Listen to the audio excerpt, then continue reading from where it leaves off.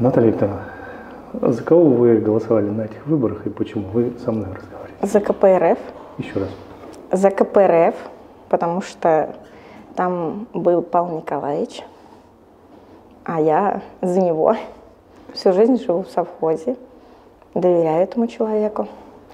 Какие-нибудь нарушения на участках были в совхозе? Слышали, может быть, или видели? У меня электронное голосование.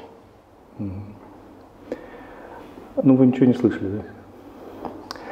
Как вы относитесь к результатам общероссийских выборов? Можно ли им доверять? Ну, можно было бы проверить. Все-таки, кажется, были нарушения, потому что вот в новостях говорили, что были нарушения. Вот в совхозе очень высокая поддержка, более 60% это КПРФ. А вот почему, на ваш взгляд, результаты вот совхоза так сильно отличаются от общероссийских результатов, где КПРФ не имеет такой высокой поддержки? Потому Может что... быть, не верит в социалистический путь развития? Потому что не дают Павлу Николаевичу выше подняться и делают все то, чтобы он не пошел в партию, в депутаты и так далее и тому подобное, в президенты.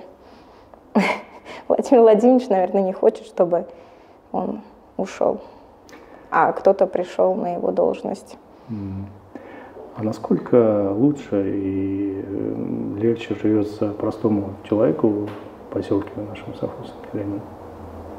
А мы спим спокойно, простые люди, и не думаем ни о чем, что что-то может произойти.